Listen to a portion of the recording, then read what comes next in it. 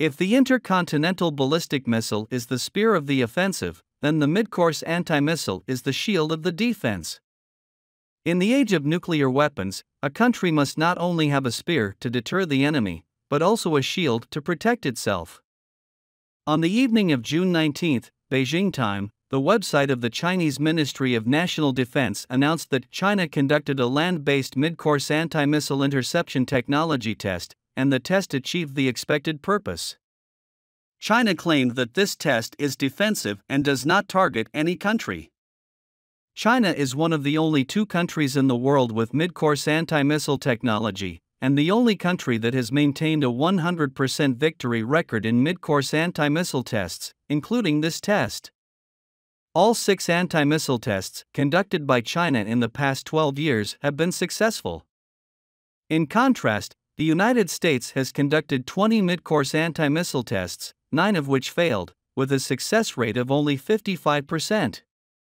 The reason why China can achieve excellent results in the field of anti missile is closely related to China's advanced missile technology.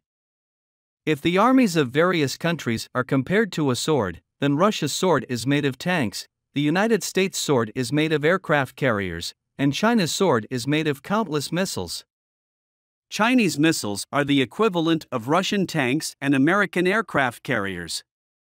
So, what is the ground based midcourse anti missile interception technology? How difficult is it to develop? What is the significance? Besides, who is more advanced in anti missile technology, China or the United States? Hi. Welcome to Hot Topics Time, a channel to interpret news from a new perspective and explore the wisdom behind the news. Before we start today's video, please subscribe to our channel, which is the encouragement that we can create more videos. Okay, let's continue the topic we are talking about. First, let's take a look at what is ground based mid course anti missile interception technology.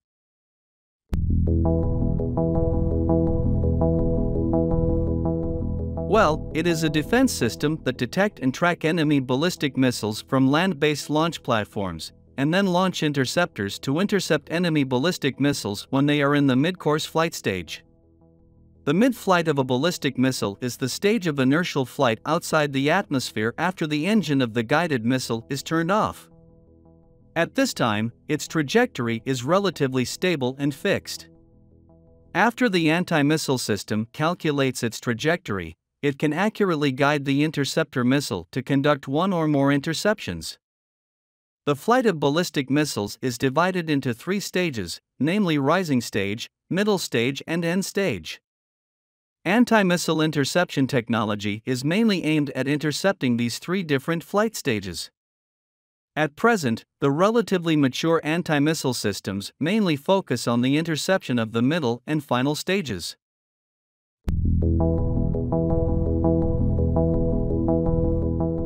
So, how difficult is the land based mid-course anti missile interception technology? During the flight of the missile, it has three stages.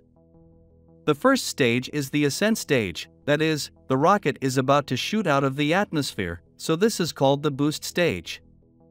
Then the middle section is because after flying out of the atmosphere, the air outside the atmosphere is very thin, and the flight speed of the missile is very fast at this time, so this section is called the middle section.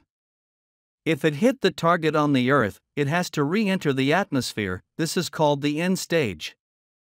Because the midcourse velocity is so high, and the interceptor has to have kinetic impact, that is, the interceptor has to collide with the warhead of the ICBM, so it's very difficult.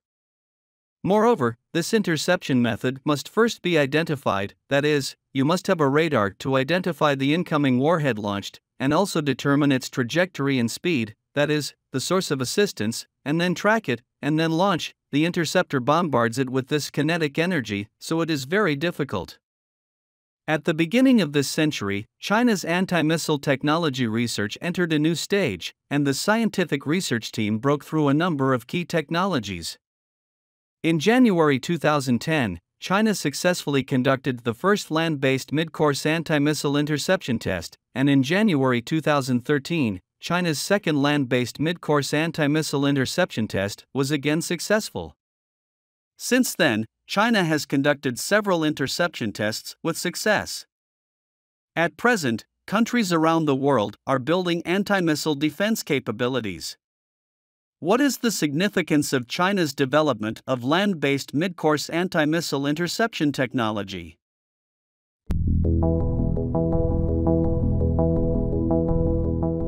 The mid course interception test was very successful. Its significance lies in greatly improving China's anti missile capability and maintaining national defense security. China has made it clear that it will not use nuclear weapons in non nuclear countries and regions. But what if someone provokes China? We know that there are three segments when a strategic missile and an intercontinental missile strike and the middle segment is the period when the missile is guided at high speed outside the atmosphere. With the mid course anti missile interception technology, early warning and interception of incoming missiles can be carried out. Therefore, its significance is that China's ability to intercept strategic missiles such as nuclear weapons has been greatly improved.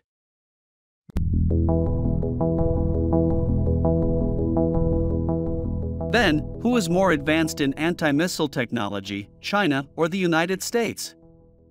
We mentioned at the beginning of the video that China is the only country that has maintained a 100% victory record in mid course anti missile tests, and all six anti missile tests conducted in the past 12 years have been successful. In contrast, the United States has conducted 20 mid course anti missile tests, nine of which failed, with a success rate of only 55%. Some people may say that the US has tested 20 times, and China can maintain a 100% success rate because the number of tests is small. Yes, China's trials are less than a third of what the US has done. But the mid course anti missile focus is on the quality of the test, not the quantity. The reason why the United States can conduct 20 anti missile tests is because the previous test failed, and the United States needs to continue the test until it succeeds. For example, the United States has conducted six anti missile tests since 2010, and the interceptors used are all enhanced exoatmospheric interceptors. All the first three tests failed. After each failure, researchers will make improvements and finally succeeded in the last three trials. If the US experiment was successful in the first place, the number of trials would be cut by at least half. In contrast, China's first test was successful, and subsequent development can focus on improving performance. However, although the mid course anti missile missile is harmless, it does not mean that no country will be provoked by it. Maybe it's like installing a security door in your home. Neighbors and passersby won't care if you change the door. Only thieves will curse when they see it. Let's see who reacted most strongly to the news of China's successful mid course missile defense and see who the thief is. Okay, that's all for today. Please put your comments below and share your insightful ideas with other people. Thank you so much for your continuous support. Your precious time with us is highly appreciated. Hot Topics Time Time to explore the wisdom behind the news. We will see you in the next video.